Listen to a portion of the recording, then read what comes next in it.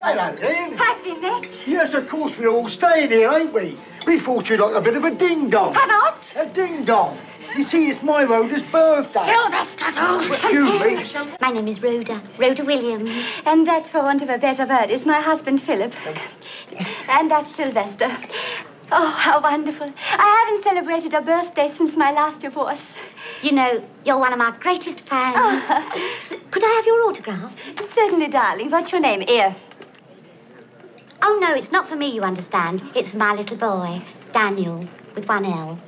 I followed every scandal you've been in. I try, darling. I try.